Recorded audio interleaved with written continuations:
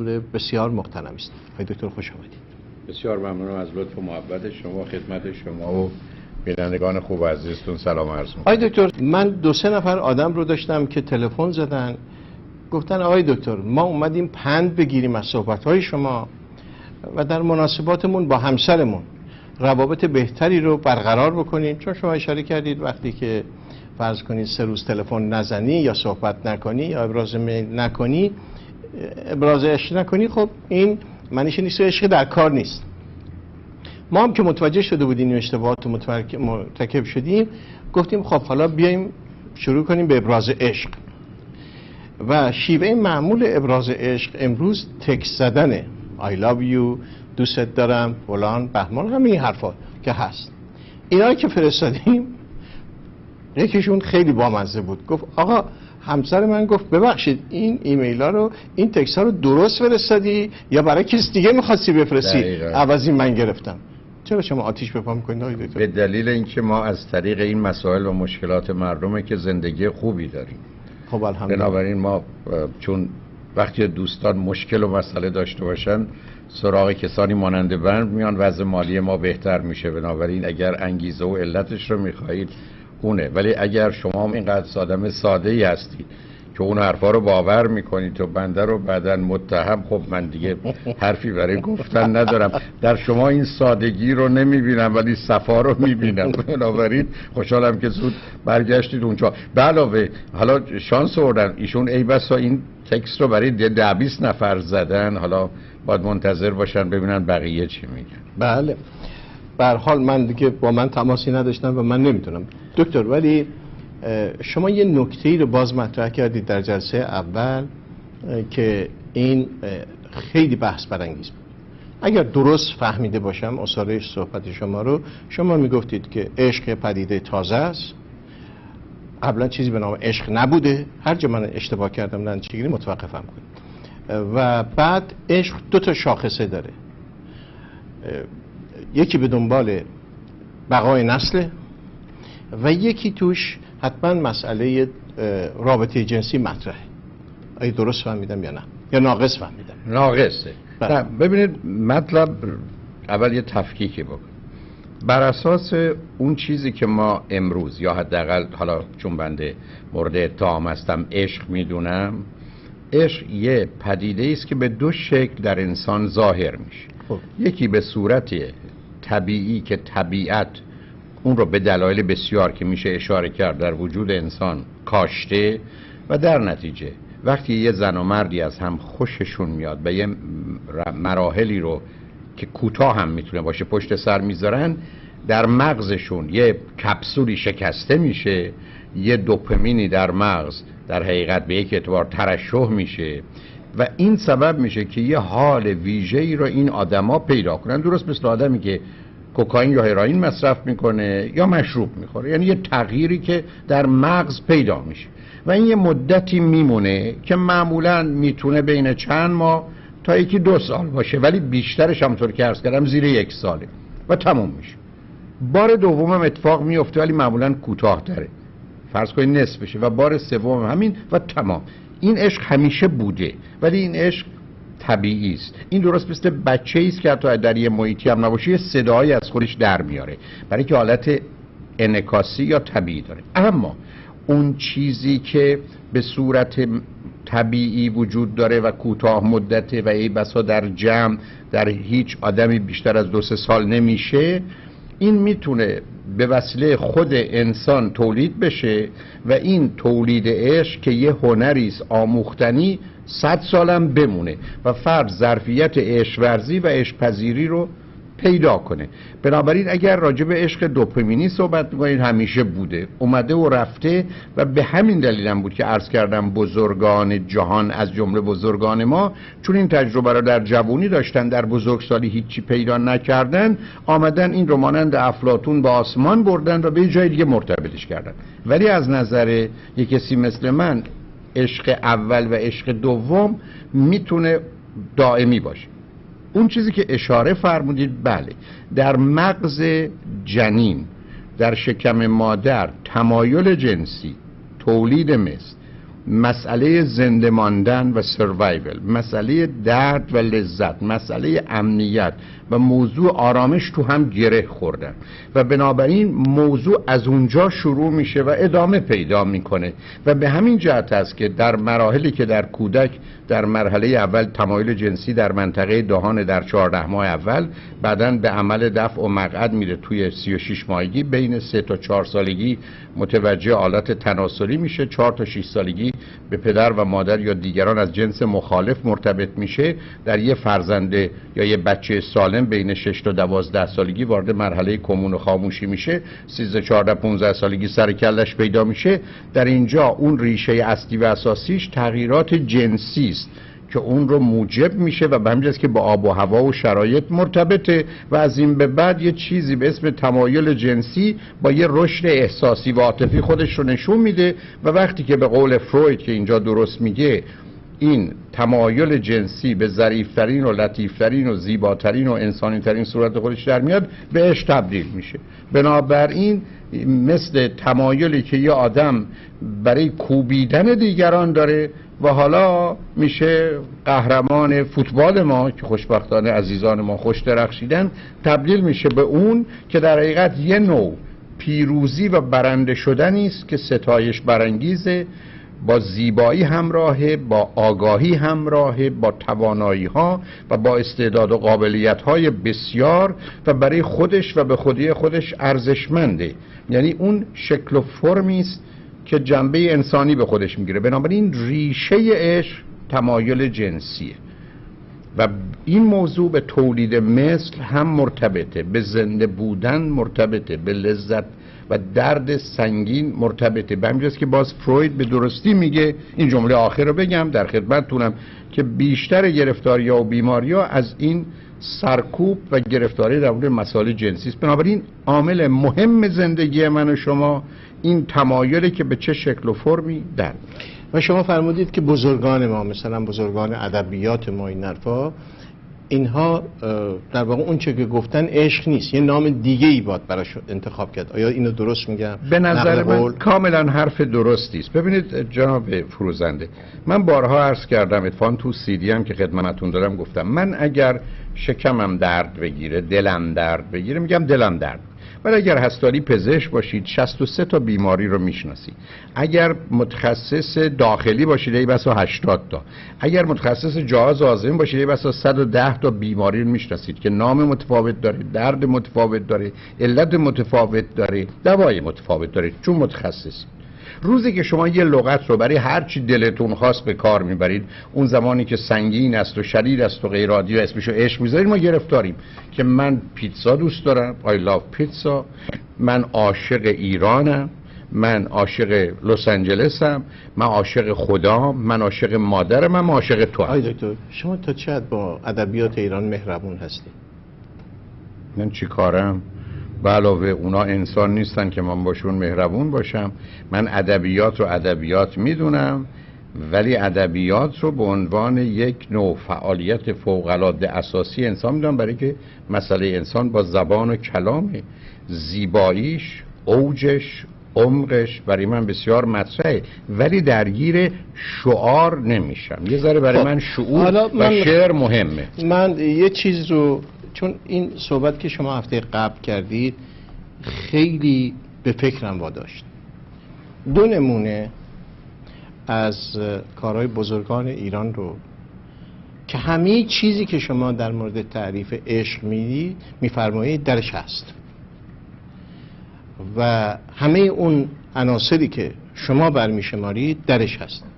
اگر اجازه بدید این دوتا رو ابیات کوتاهی نه هر چی بلند بلندم باشه بهتر هر چی بیشتر شما حرف بزنید بهتره. نه من نمی‌خوام. تو من نشستم اینجا حرف بزنم. من اومدم نشستم که گوش کنم. نه شعرهای دیگران بخونید دیگه بهتر. تا آخرش بخونید من خوشحال من دو نمونه رو ذکر می‌کنم. یکی از فردوسی و یکی نظامی. بفرمایید. به نظر من زیباترین ترسیم از عشق صحنه رفتن تخمین است به دیدار رستم. اجازه بدید که براتون بگم. می‌دونید که اسبش گم شده بود. دقیقا. رفت. حالا خرش گم شده باشه یه چیزی اسبش گم اسبش گم شده بود. ولی ببینید چقدر زیبا.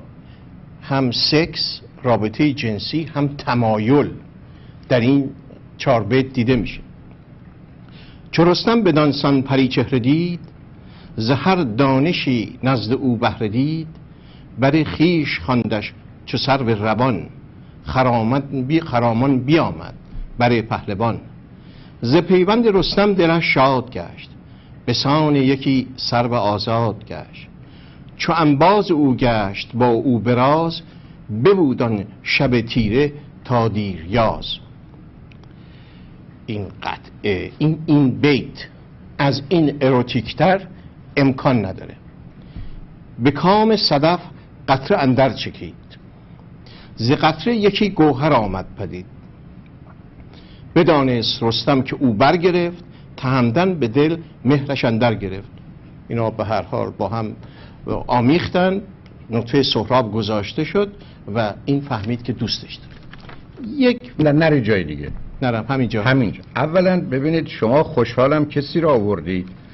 که نگاهش به ادب و فرهنگ و انسان از هر یا از خیلی کسان در گذشته واقعی تره بله. این نگاه یه نگاه دقیق واقعی طبیعی به عشق. علمی عقلی به عشق به رابطه جنسی و خوشحالم این مثال رو شما آوردید بنده شما چون منو بردی سراغ همه من راجع به همه صحبت نمی کنم یک کسی مثل فردوسی تنها زبان ما رو نگه نداشته فرهنگ ما رو نگه داشته انسان و انسانیت رو نگه داشته. حسن این هیکل میگه که اگر ما مصریا یک کسی مثل فردوسی داشتیم ما هرگز عرب نمی شدیم و قبطی می ماندیم بنابراین شما رفتید سراغ یک کسی که نگاهش و برداشتش به هیچ وجه با اون چیزی که من امروز بهش نگاه می‌کنم تفاوت و فاصله نداره و اگر نمیفرمودید و گرچه من از این شعر خبر داشتم و نمی‌دونستم مال فردوسیه معتقد بودم یک کسی در دنیای امروز که با مفاهیم عمیق و دقیق عشق و رابطه جنسی و زن و مرد و حتی حتی اینکه از هر دو طرف می‌تونه این میل و خواسته باشه و حتی تهمینه است که سراغ رستم میره و باش حتی بدون قوانین و مقررات و اینها درگیر رابطه اونش فرزن میاره سخن گفتید بنابراین من به هیچ وجه با یه چنین بیتی مسئله و مشکل ندارم ندارید. ولی ولی آسمانی و خدایی و روحانی و ایناش نکرده. خیلی نه آقا این رابطه است که یه مرد و زن می‌تونن با هم داشته باشن و یه زن جسوری هم پیدا بشه بره بگیم من نه زن تو جسور نه یه زن که زنه. زنه و می‌خواد بره بخوابه با یه مردی بگه می‌خوام تو بچه داشته باشم. و به این زیبایی هم توصیف صدف و گوهر و اینا. من یه نتیجه می‌خوام بگیرم. حالا چند تا نمونه دیگه هم خدمتتون میگم. مثلا فرض بفرمایید. مجموعه ویسورامین مال فخرالدین اسعد گرگانی در قرن پنجم. یکی از عاشقانه ترین منظومه هاییست که وجود داره. و جالبه که در این منظومه منظومه این ویس هست که خواهان رابطه است. به دفعات و به دفعات و به دفعات و حریص در این قضیه پیشگام در این کشف می‌کنه رامین رو.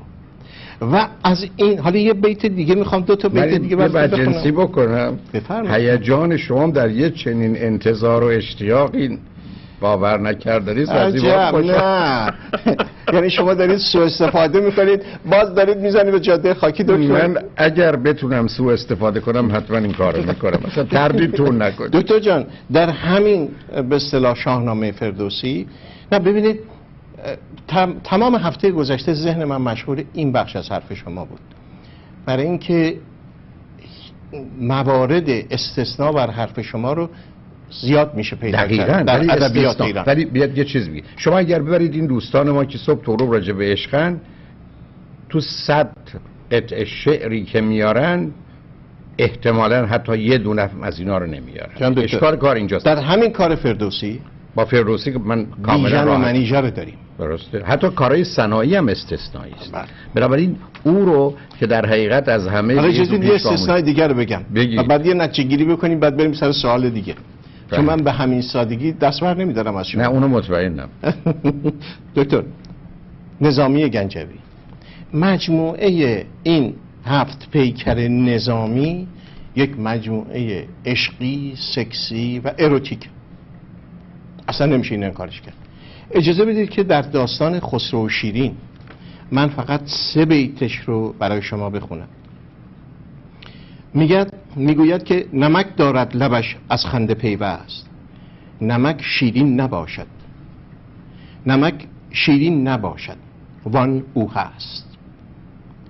دو پستان چو دو سیمین نار نار نوخیز. بران پستان گل بستان درمریز رخش نسرین و بویش نیز نسرین. لبش شیرین و نامش نیز شیرین. شما به هیچ که از معشوقه های دوران جوانیتون تونستید اینجور زیبا نامه بنویسید؟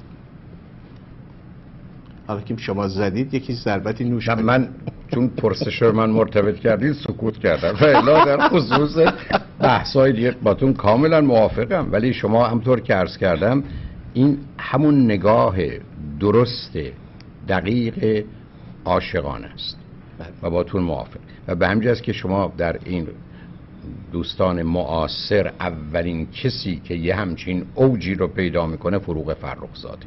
یعنی او هم مخصوصا به عنوان یه زن نه از یه مرد که درباره یه زن دیگه یا راجب مردی در اتفاق صحبت می‌کنه همین اندازه من فقط از شما یک چیزی رو می‌خوام. چون سخنرانیاتون گوش کردم ویدیوهاتون رو توجه کردم و می‌دونستم با کی دارم صحبت می‌کنم. شما در مورد قضاوتی که در این زمینه می‌کنید به نظر من باید یه مقدار توضیح بیشتر بدید. یعنی مفهومی که منتقل می‌کنید به خواننده این است که در دوران قبل از دوران معاصر و قبل از فروغ ما در ایران پدیده به نام عشق در ادبیات رو نداشتیم. یعنی این توضیح رو نمی‌دید. اگر این توضیح رو بدید من با شما مشکلی ندارم. من اینکه پدیده درستی که راجع به عشق هست اصلا نبوده حرفم نیست. تعداد اینا کمه. ولی بازم یه چیزی هنوز اون گوشه نشسته و اون اینه که همچنان غیر از یه مورد که اشارت جالبی بود یک مورد در آنجا که فروسی حرف می‌زنه همچنان ماجرای اصلی ظاهر و زیباییه. یعنی این و یا در حقیقت نوعی بیان جنبه فیزیکی و جنسی و مادی که من هیچ اشکالی باش ندارم. ولی موضوع مهم تو عشقی که امروز هست این است که یه آدمی از نظر فهمش درکش احساسش حالش تواناییهاش راهنماییش اخلاقش شرافتش اونا کجاست؟ یعنی اون چیزی که هست کاملا باتون موافقم. یعنی اگر شما من بفرمایید که توضیح من یا کلام کوتاه من که معمولا به عنوان معلم دارم می‌خواد اگر سوالی رو جواب میدم چهار تا سال تازه رو به وجود بیارم به ویژگی کار من بوده و اگر به من میفرمایید در یه توضیح نسبتا از دید شما کامل باید اشاره کرد به مواردی که خوشحالم به گونه ای که فرمودید بیشتر باش موافقم. حالا استثناء نباشه جمله که فرمودید یکی دو درصدی بیشتر نیست. ولی دو چیز هست. یکی اینکه شما به اون 90 95 درصد دیگه نگاه کنید. دوم به اون ایده ای که آمده غلبه کرده. یعنی آمده به عنوان مفهوم عشق پیدا شده مخصوصا بعد از فردوسی و سنایی یعنی دیگرانی که بعدا مدعیه.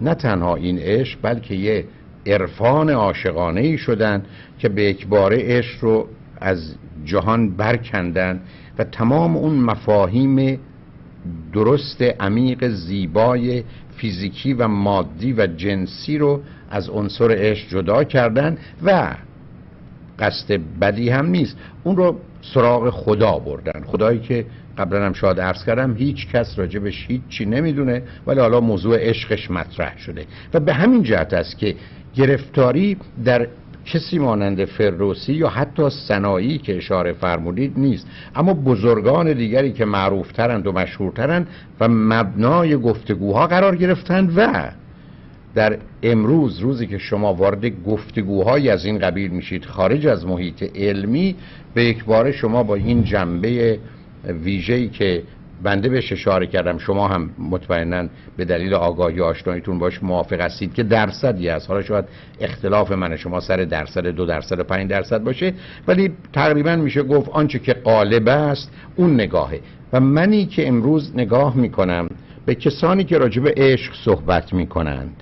و از صد نفر غیر از شما که رفتید گشتید می‌تونم بگم بارها و آدم ها صحبت کردیم. یکی دنبال اون تکه فردوسی و سنایی و اون جنبه های عمیق و دقیق و به نظر من درست عشق نمیره بلکه بیش از 90 درصد میرن سراب اون جنبه های تخیلی و بعدا اون رو به مسائل روحانی و خدا مرتبط کردن. خب من به عنوان یه معلم وارد اون مرحله میشم که به اون نگاه قالب که توجهی دارم و بعدم به دلیل اینکه نقشی و تأثیری در آنچه که ما به عنوان سوال درباره انسان و عشق و رابطه و ازدواج و اینا مطرح می‌کنیم نداره باش بحث می‌کنم. و الا اگر شما به من می‌خواید بفرمایید که در این باره بزرگانی بودن که حرفی زدند و درست گفتند بایتون مسئله و مشکلی ندارم. البته هنوز گیر و گرفتاری هایی دارم. و اون گیر و گرفتاری های من این است که اگر به اون مجموعه افکار نگاه کنیم هنوز می‌بینیم که جزی از اون مسئله انسان و انسانیت و یا آنچه که تمایل جنسی است به دلیل بقیه باورها ممکنه نوعی پنهان شده باشه. فردوسی احتمالا نه و به همین است که یه عده جایگاهی که برای فردوسی قائلن و نقشی که در فرهنگ ایران و تداوم اون داره فوق العاده است در حالی که نقش دوم سر جاشه. حتی بذارید یه نکته کوچکی عرض کنم. نگاه فردوسی نگاه سنایی یا کسانی که یه کمی مقارن اونها بودند با کسانی که 200 سال یا 300 سال یا 150 سال بعد از اونها اومدن که تو تاریخ داریم اونا هستن که به اکباره اون زمینه علمی عقلی واقعی که منجر به پیشرفت های علمی و هنری و فلسفی در ایران بود. تا اونجایی که ایران رو از نظر جایگاه دانش اون زمان به حد اروپای اون زمان یعنی قرن فرض کنید سیزدهم یا دوازدهم می برد و اونجا بود که رنسانس تونست اتفاق بیفته و اون عصر روشنگری به دنبالش باشه همونطور که بارها عرض کردم در ایران سطح آگاهی دانایی چون در اون حد و سطح بود در یه زمین های بالاتر یه زمین های پایین تر ما می‌تونستیم این جنبش رو داشته باشیم. اما اشکال کار من اینه که از عوامل احتمالا چهارگانه که برای برنخواستن فرهنگ و حتی نیمه های یا گوشه های از تمدن ایران برای اون رنسانس مسئله این انحرافی بود که حتی در موضوعهای اساسی در جهت مسئله انسان و واقع گرایی انسان به وجود آمد و درست مانند اروپای قرون وسطا که 200 سال قبل از اون بودن عشق رو روحانی و رابطه جنسی رو شیطانی دونستن تا اونجایی که می‌دونید هزار سال کشیشان مسیحی زن می‌گرفتن بچه دار می‌شدن ولی بعد از اون دیگه آمدند و دنبال زنان و بچه نرفتن ولی دنبال بچه ها به گونه دیگری رفتن. هنوزم هستن. و اشکال کار اونجاست و در شرق هم ما همین کار کردیم. یک مرتبه موضوع عشق شد عشق به خدا. عشق به یک مفاهیم دیگری و اصولا یه عده آدم صبح تا غروب بدون اینکه در شناخت خودشون و شناخت انسانهای دیگه و مخصوصا جنس مخالف که در اونجا این شناخت از مردان آغاز می‌شد سراغ زنان رفتن و زنان رو به جایگاهی که مردان مانعشون شده بودن برگردوندن و رسوندن اونجا کوتاه آمدن و حرفی نزدن. یعنی بعدا این نوع برداشت که نتیجه یک دریافت مساوی میان زن و مرد و یه احساس دو جانبه است که شما بهش اشاره فرمودید تبدیل شد به یه موضوع یک طرفه که در این یه طرف مردی نشسته که حالا حتی وقتی هم که می‌خواد جنبه جسمی پیدا کنه تبدیل میشه به یک بلبل نری که به دنبال بلبل ماده نیست بلکه به دنبال گله و یا شمعی میشه و پروانه و داستان رو اصلا از یک رابطه دو جانبه برابری که هر دو طرف می‌تونه آغاز بشه و ادامه پیدا کنه و رشد پیدا کنه در آوردن. این اون چیزیست که مسیر فرهنگ و ادب ماست. ولی شما من میفرمایید حاشیه های وجود داره. حتما حتی وقتی یک کسی مثل فروغ اون اشعار رو گفت نه تنها مردمان آمی نه تنها مردمان مذهبی روشن فکران ما به جنگ او رفتن اونم روشن فکران مدعی در حقیقت مدرنیته. اینه که اونجا دیگه کار خراب شد.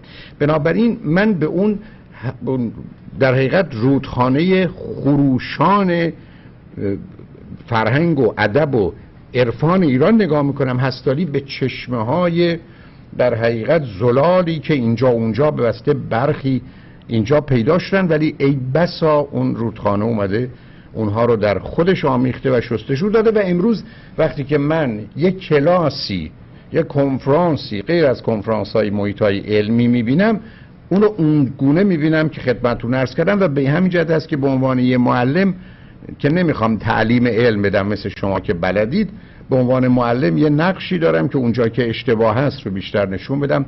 نقشم معلمی است نه اونقدر انتقال علم. دکتر اینا از هفته پیش مونده بود. حالا بریم سر بحثی که با هم داریم و گفتگویی که یعنی داریم تا حدودی آشتی کردیم یعنی یا نکردیم؟ من همیشه با شما آشتیم. اتفاقا بدم نمیاد که گاهی قد با شما سخته در آویختن ولی در بیاویزم و یه چیزی یاد بگیرم چون با این ترتیبی که آدم نه خیلی به خوبی از عهده برمیاد نگران نباش دکتر ظرفیت عشق پذیری چیه و چطوری به وجود بیاد نکنه یکی از مشکلات فرهنگی ما این باشه اگر اون تعریف شما رو ببازیم از عشق ما اصلا در تمام دوران تحصیلمون در آموزشمون هیچ جا به ما یاد نمیدن که مقدمات عشق چیه. مقدمات آدم بودن چیه؟ عشق چیه؟ رابطه چگونه است؟ بنابراین اون تعریفی که شما از عشق می‌کنید هر کسی نمی‌تونه عاشق بشه. من اینجوری می‌فهمم.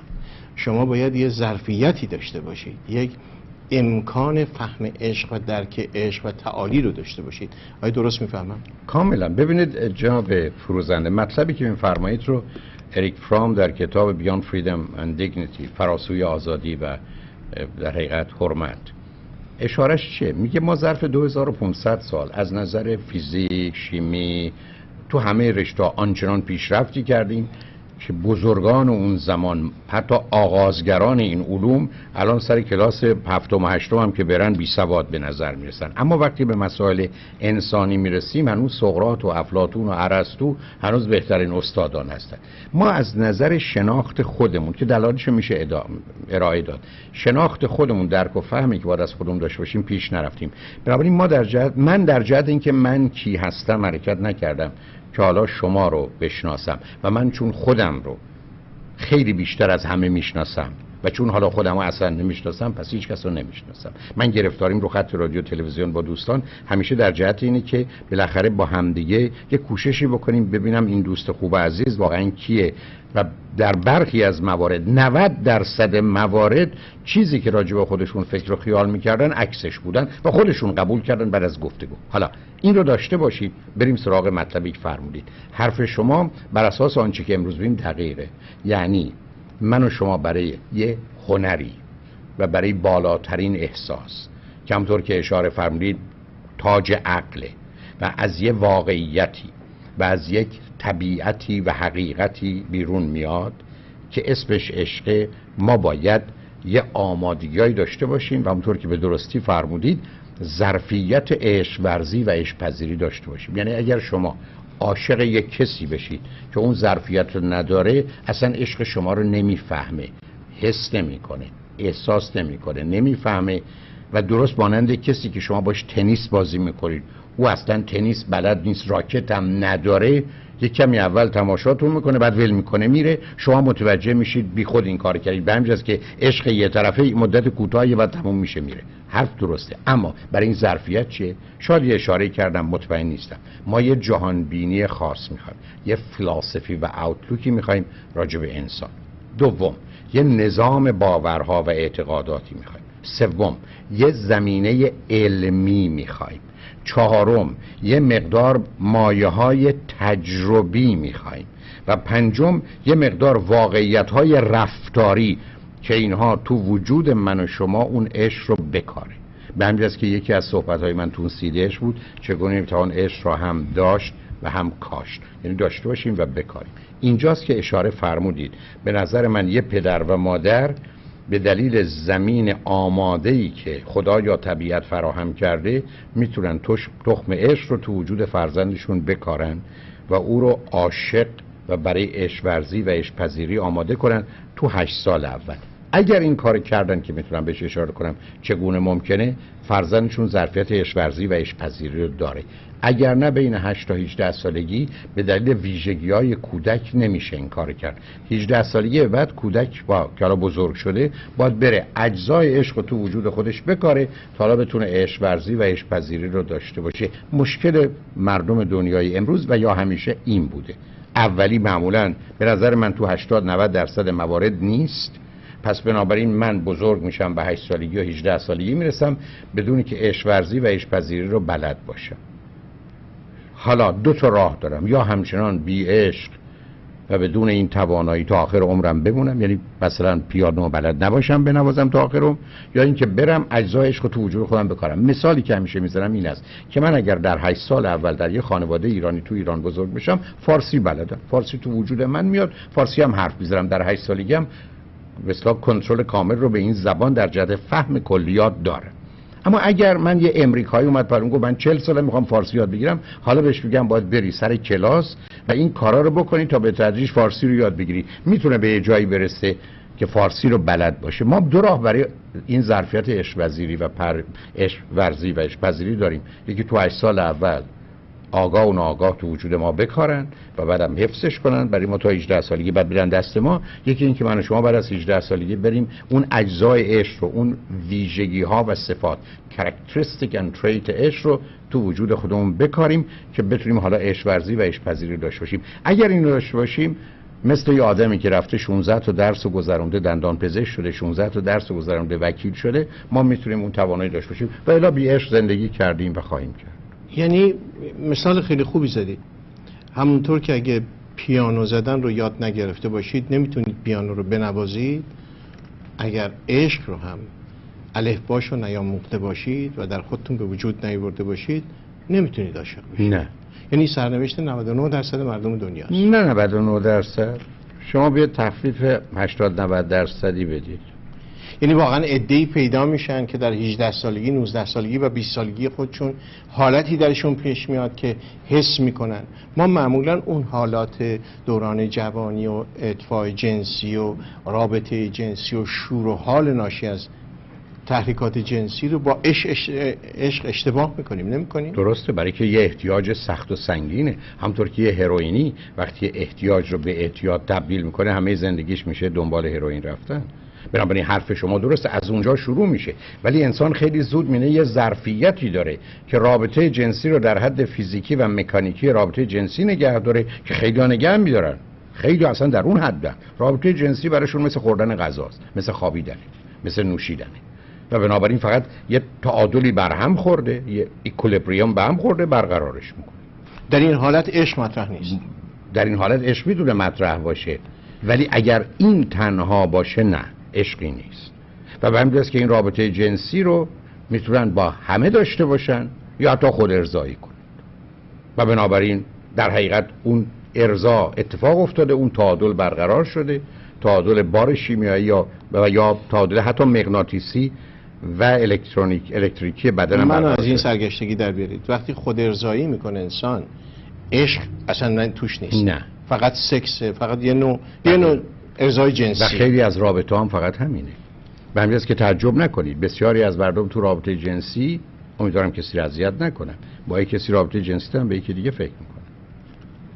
برای اینکه در اینجا معلوم اون آدم رو به عنوان وسیله برای خود ارزایی دارن. در حالی که در مفهوم عشق یه نوع در هم آمیختگی است که فرد به دلایل ژنتیک بیولوژیک فیزیولوژیک نورولوژی و ویژگی شخصیتیش و اشتیاقی که به اون آدم داره دو تا آدم با هم در میآمیزن که شما تو شعر فردوسی می‌بینید تو اشعار فروغ می‌بینید حتی تو نگاه صناعی می‌بینید. اون جایی که اونا با اون جنبه زیبا و والای عشق با موضوع رابطه جنسی بدتر میشه. هستالی نگاه کنید با آنچه که ابراهیم مزلو در مورد سلسله مراتب نیاز داشته. شما نیاز جنسی نیاز شماره یک هم هست. یعنی در نیازهای فیزیکیه. نیاز شماره دو امنیت و آرامشه نیاز سوم عشق تعلق و اینجا باز نیاز جنسی میاد. بنابراین شما مردم رو در دو مرحله از ارزای جنسی می‌بینید. یکی در مرحله یک به عنوان فیزیکال نید یکی در مرحله سوم به عنوان عشق. همینی که خانما بیشتر به دلایلی تو سومی می‌خوان برن آقایون تو اولی.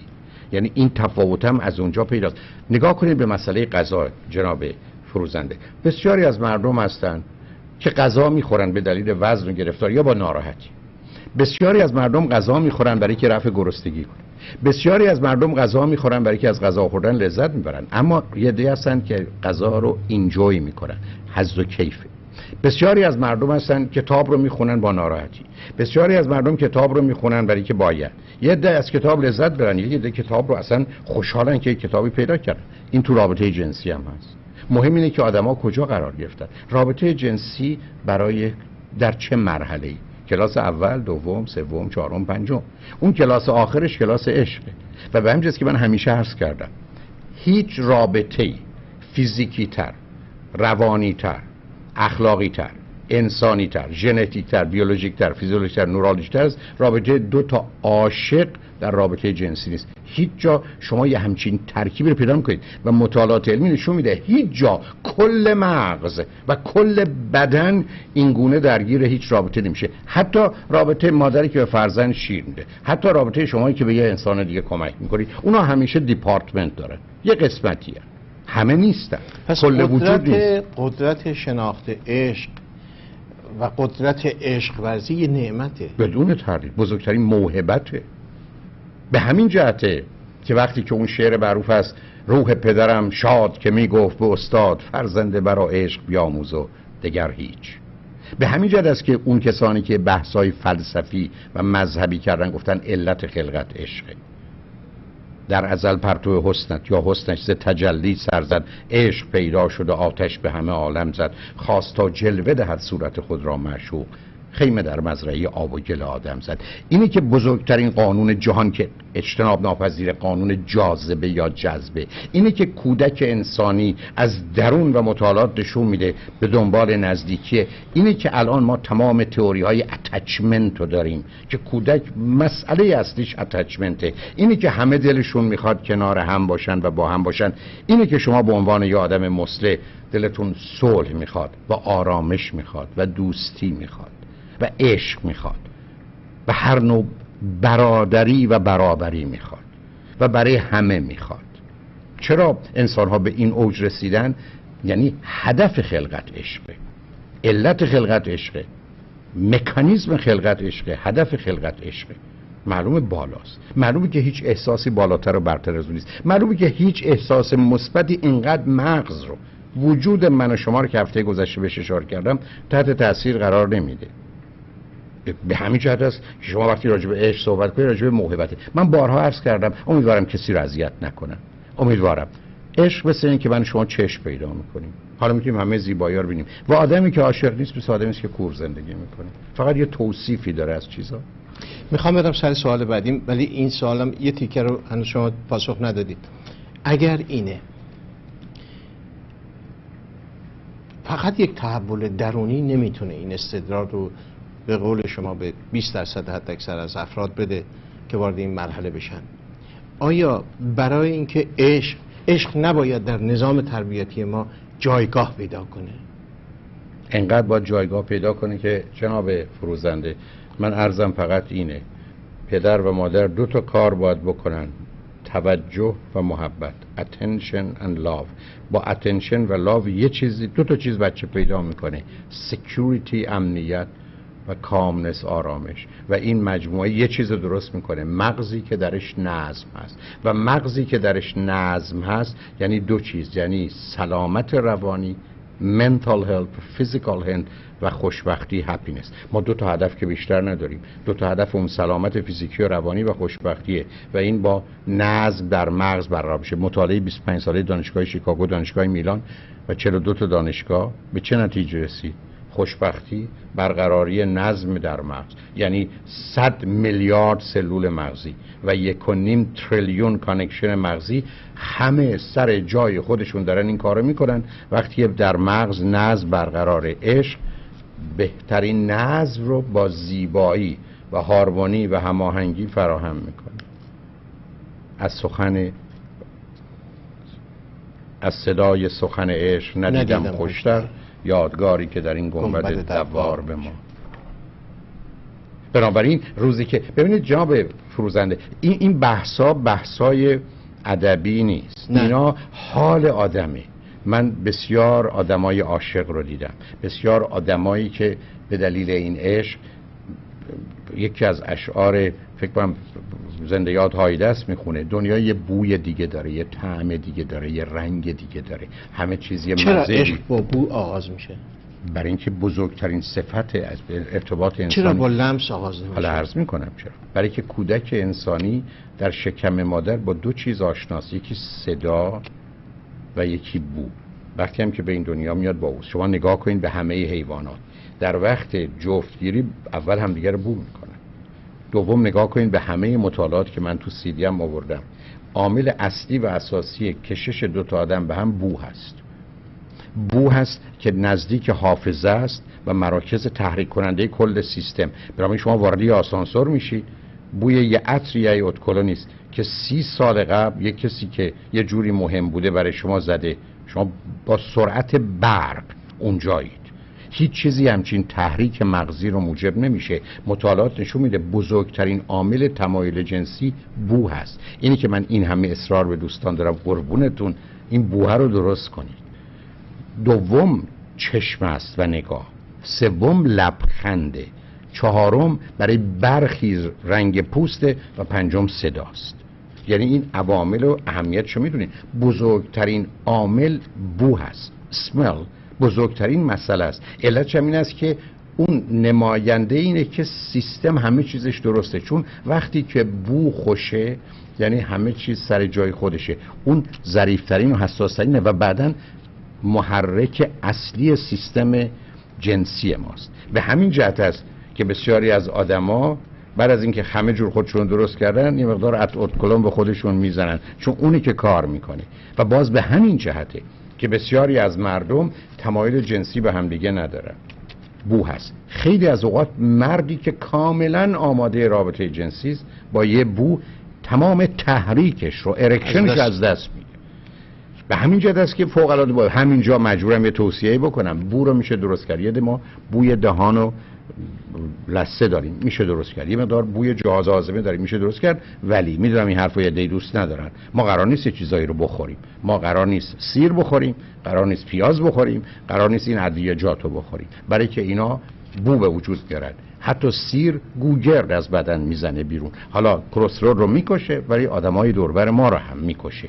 بنابراین هیچ کدوم از اینا کار درستی نیست. یعنی مصرف اینا کار درستی یه راه دیگه پیدا کنیم برای مشکلاتمون. برای که این بو مسئله اصلی و اساسی انسانه و این بو تبدیل میشه به تدریج در بدن و گرفتاری به وجود میاره. من بارها تو کار روان درمانی و تراپی اینقدر زنان و مردان به من گفتن که فلانی من با وجودی که سخت نیازمند رابطه جنسی هم یا دوست دارم به دلایل دیگه که با همسرم باشم بوی او اصلا منو به حالی میاندازه که برخ از اوقات نه از او تنها از خودم بدم میاد این موضوع اصلا نمیشه نادیده گرفت.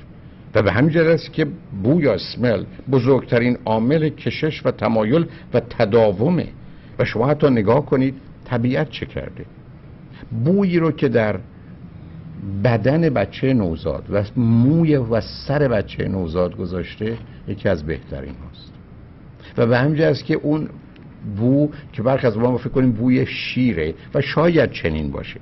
من بانوی ارجمندی رو خط رادیو آمد. گفت من خودم پزشک کودکانم. یه دختر بچه هفت ماهه دارم. شیر منو می‌خورد. الان نمی‌خوره. حتی من مراجعه کردم. خودش متخصص کودکان بود. گفت حتی رفتم سراغ استاد جا. گفتم خیلی ساده است. شما فقط لطف کنید و یه مقدار غذای ساده مثل برنج مثل فرض کنید ماست بخورید. هیچ چیزی هم ادویه هیچ چیزی نخورید. به من لطفا بعدن تلفن کنید چند روز بعد تلفن کرد دوباره شروع کرده به خوردن شیر. برای اینکه غذای مادر که بوی شیر و طعم شیر رو عوض می‌کنه و بسیاری از مادران که بچه من شیر رو نمی‌خوره به خاطر بیشتر اوقات غذایی است که می‌خورن. صرف نظر از مسائل کودک. یعنی موضوع انسان و ارتباطش با مسئله بو شروع میشه. دکتر عشق. مثل هر موجود دیگری دوره تولد رشد تکامل و مرگ داره؟ بدون مرگ نه. مرگ وقتی است که اتفاق بیفته به همین جهت است که خاموشی داره. خاموشی ممکنه. ممکنه. ممکنه باشه ممکنه نباشه. آدمایی هستن که تا وقتی زنده کسی رو دوست دارن و بنابراین با عشق او میمیرن. ولی نمی‌تونن رابطه جنسی داشته باشن. ممکن. اصلا مهم نیست. برای که بعدش اهمیت نداره. بعدش مسئله این است که شما یه ارتباط یه برقرار کنید. شما حتی ببینید حرفی که می‌زنید خیلی دقیق و درسته. خمیر مایه عشق یا اونچه که عشق رو ممکن می‌کنه رابطه جنسی است. ولی معناش این نیست که بعدا محافظش و مراقبش بیش از هر چیز دیگه اونه و بعدا معناش این نیست که وقتی که تمایلات جنسی کم میشه یا ناتوانی جنسی وجود بیاد عشق از میان میره. به هیچ وجه. یعنی این یه درست مثل شمایید یا منی که مثلا فرزندی تولید می‌کنیم به دلیل این بسا تمایل جنسی ولی حالا که دیگه بچه ما رابطه جنسی نیست. اون یه شکل و فرم دیگری رو داره. به همین جهته که من معتقدم در حالی که رابطه جنسی به دلیل طبیعی مسیر خودش رو طی می‌کنه عشق از راه دیگری میاد که اینا قرار یه جای دیگه با هم تلاقی کنن. و این عشقی که شما اشاره فرمودید که مراحل از نظر من نهگانه یا دوازدهگانه طی می‌کنه این عشقی که طی میشه یه جایی به هم می‌رسه. به همین که من با رابطه جنسی قبل از عشق مخالف. نه به خاطر بحث اخلاقی و مذهبی و اینا. اون بحث من نیست اون کار من نیست. به منم مربوط نیست.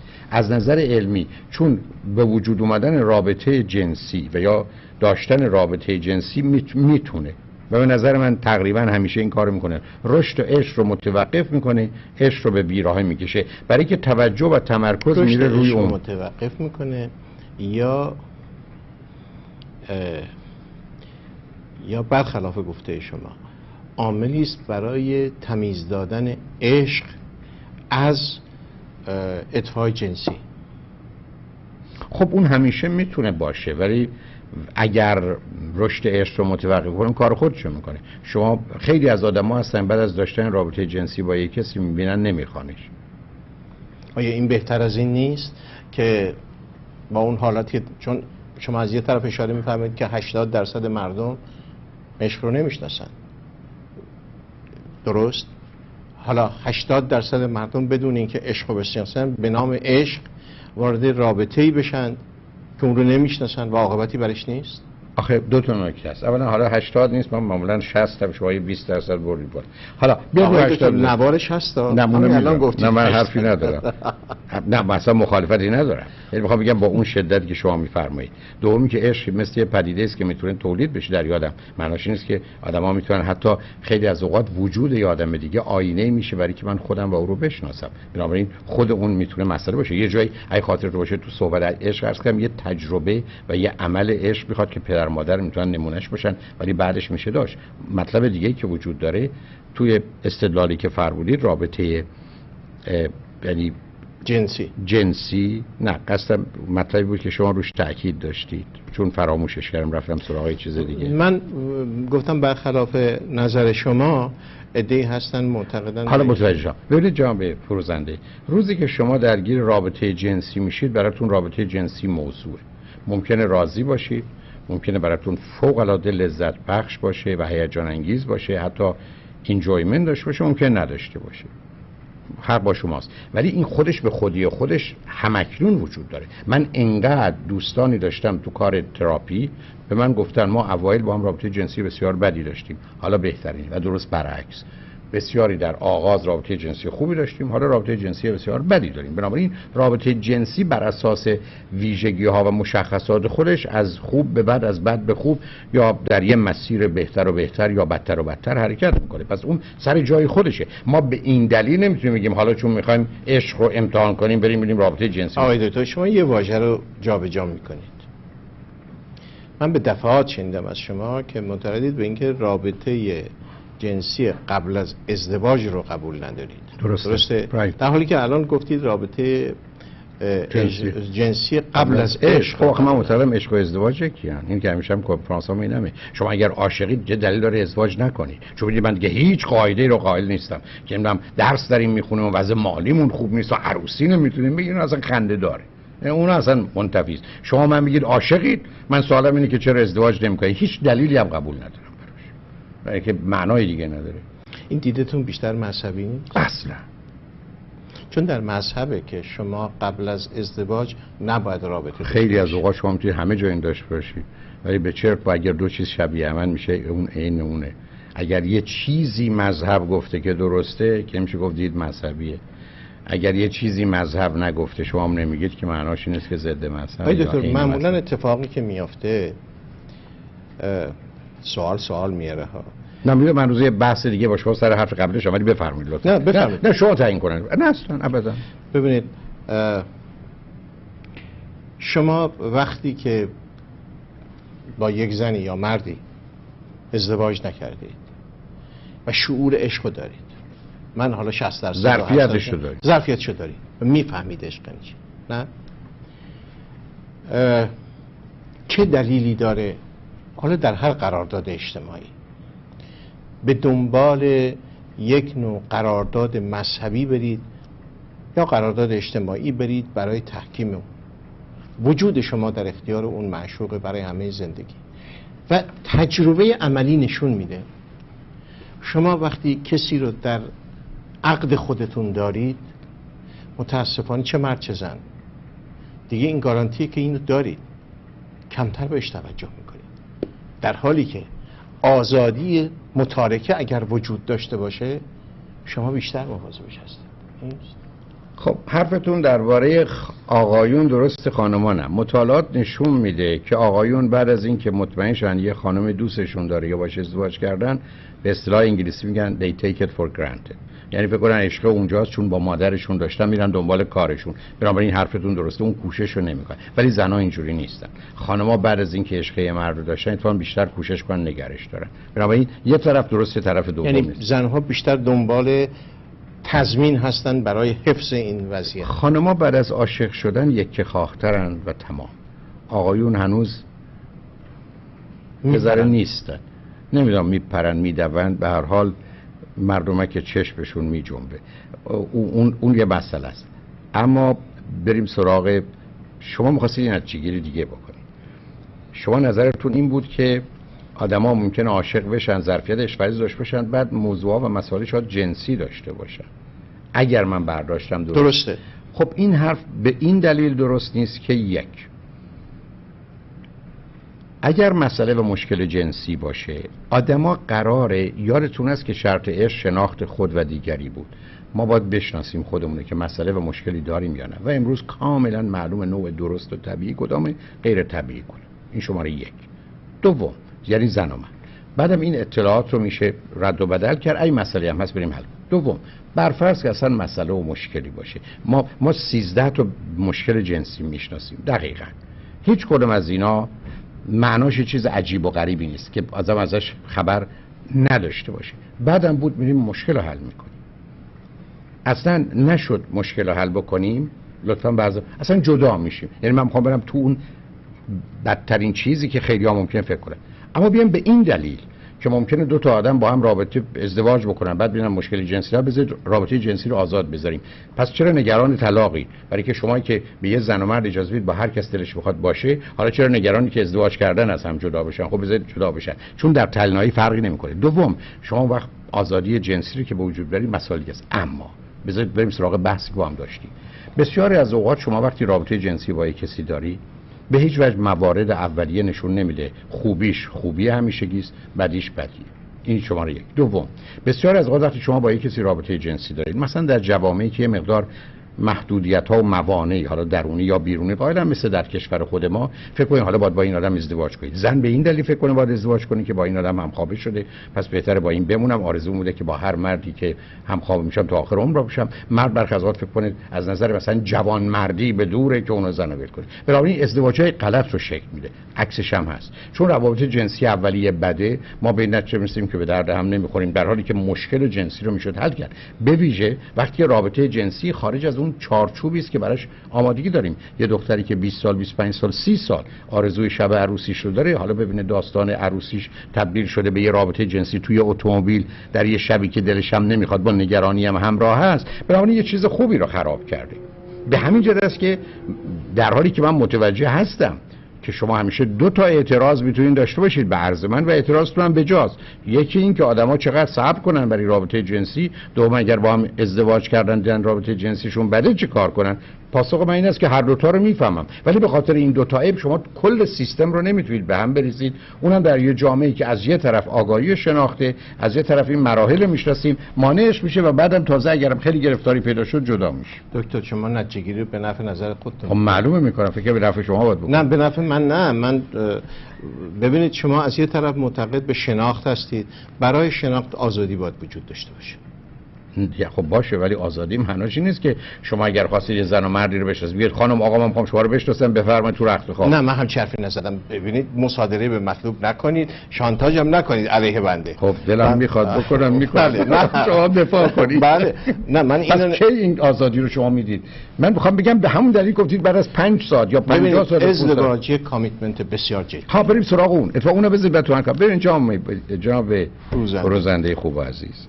اشکال کاری که اینجا وجود جان فروزنده اینه که ما بسیار معتقدیم خیلی از اوقات دوستان اومدن به صورتی که شما فرمودید نگفتن. گفتن که ازدواج کاغذ پاره است که حالا یه تعهد نیست. اصلا حرف میمونه که اصلا تعهد کاغذ پاره نیست. برای کاغذ پاره خب بنویسید برید. بله. چون شما معتقد این هیچی نیست خب بنویسید برید. من مسئول نظراتون نه آینو می‌خوام بگم. بعدم شما بیاید سند خونتون که کاغذ پاره است پشتش امضا کنید بعد بعد سوار ماشین تو منم بسیار خوشحالم. پس اولا بازی در نمی دوم کسی که میگه نمی‌خوام می‌خوام با هم باشیم. می‌خوایم رابطه جنسی داشته باشیم. البته نمی‌دونم بعد با بچه ها می‌خوان چیکار کنن. چون اونجا مسئله است برای که بچه نمیشه گفت ما با هم ازدواج نکردیم. یه مقدار مسائل داره تو محیط اجتماعی. ولی نمی‌خوایم با هم ازدواج کنیم. چرا نمی‌خواید ازدواج کنید؟ نگرانیتون از ازدواج چیه؟ بحث مذهبی نکنید. اگه مذهبی هستید بر اساس باورتون در درون کنید ولی بیاید بحث عرفی رو بکنیم شما امروز به شما میگن زن و شوهری از یه مزایایی می‌خواید بهره بگیرید از مالیات گرفته تا حقی درباره رفتن تو بیمارستان یا هر تصمیم دیگری خب بیاد ازدواج هم بکنید. خیلی عجیبه برای من. شما از یه طرف پیشرفته ترین نظر علمی رو دارید در مورد عشق نه؟ میگید میرید به یک کلینیکی امارای مغزتون می‌گیرن معلوم میشه آشان. و بعد وقتی به علمان های مؤثر می‌رسیم و این موارد می‌رسیم. شما به صورت یه فیلسوف در میاد کار به فیلسوف نرم اصلا بذارید چیزی بگید که دلتون بخواست بگید عقب افتاده. ولی خب خیلی از اون نه خیلی جناب فروزن خیلی از اون چیزهای قدیمی هنوز درستن. ملاک درست و غلطشونه نه ملاک در قدیمی یا جدیدیشون. شما من بگید یه حرفیشون قدیمی است درست یا غلط؟ بگم نه یا درست یا غلط. حرف امروز هم یا درست یا غلط و درست و غلط. بنابراین من خیلی راحت می‌تونم یه باورهای پابرجایی رو در تاریخ بیارم و بگم هنوز درسته. خیلی میگم رابطه جنسی در عشق. شما عشق معادل ازدواج می‌گیرید نه. درسته؟ عشق رو اولین است و از نظر بذار جمله جوری بگم. من اصلا معتقدم هیچ کس قرار نیست و عاشق نشده ازدواج کنه.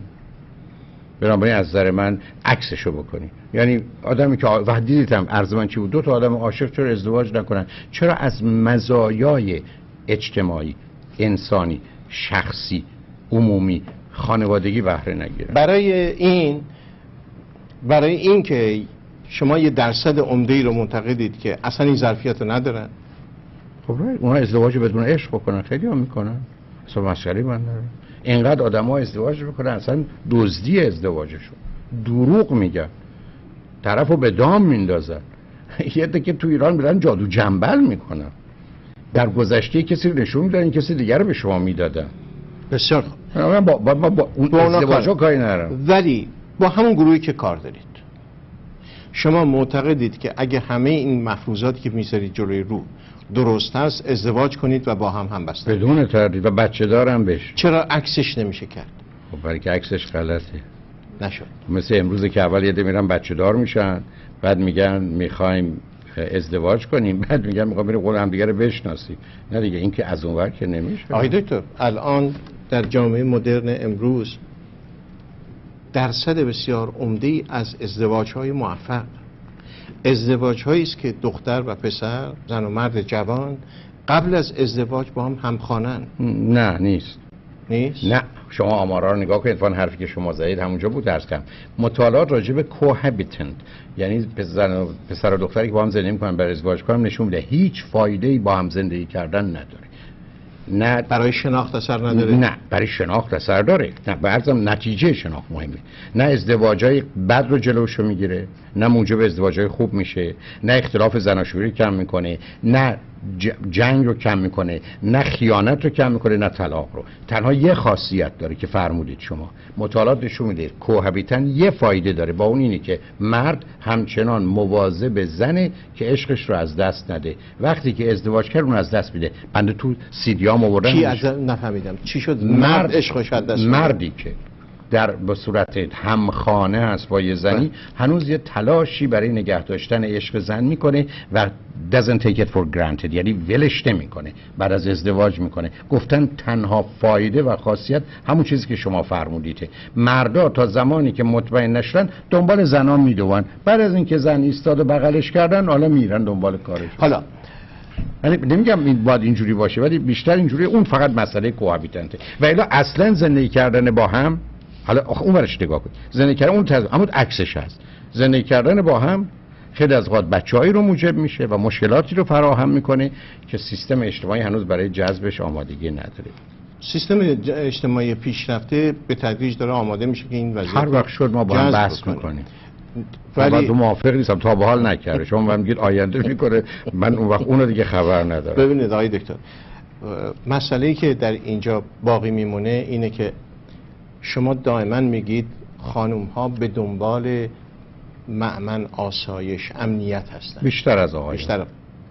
ولی آیا روند تحول دنیا حضور زن در همون سطح مرد در جامعه بشری استقلال اقتصادی زن توانمندی اقتصادی زن و اجتماعی زن این حالت رو بر هم نمی‌زنه. بدون تردید به تدریج داره میرسونه به برابری و پس بنابراین بین اون چه که شما میگید زیاده خواهی مرد و اینکه مرد به خانه مثل هتل نگاه می‌کنه این برای خانم ها هم اتفاق میفته نه خب هر وقت افتاد بحث کنیم. برای آخه با این شدت من نگفتم.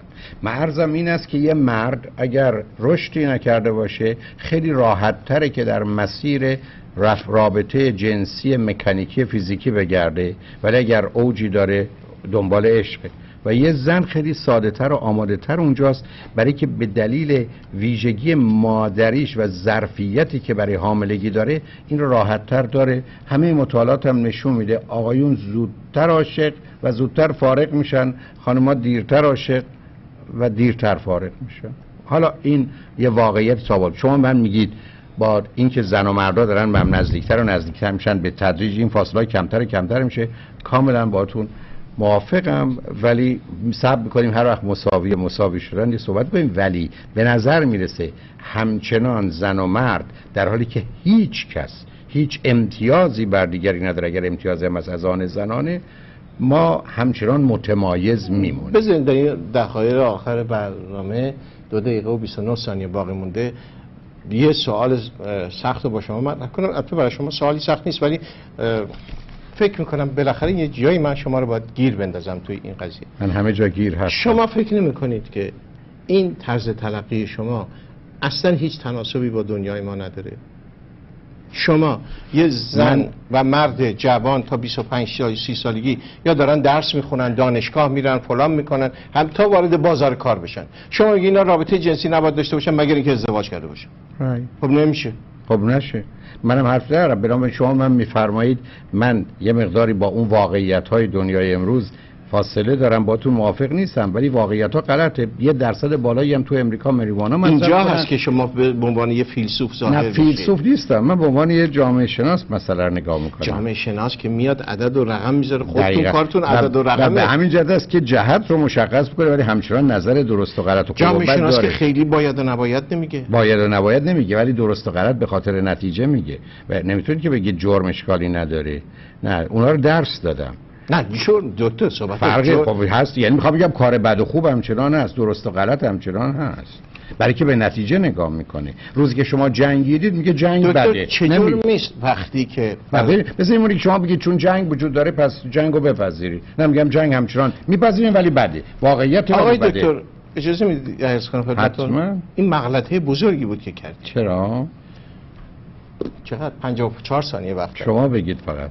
آقای دکتر وقتی که یک عمومیتی داره یک پدیده ای که جرم نیست مگر در اخلاقیات و قوانین کشورها. و لازمه طبیعی رابطه انسانی هست. رازمه طبیعی انسانی هم هست که بعد از ازدواج هم رابطه جنسی داشت. کی گفته اینا جرم نیست؟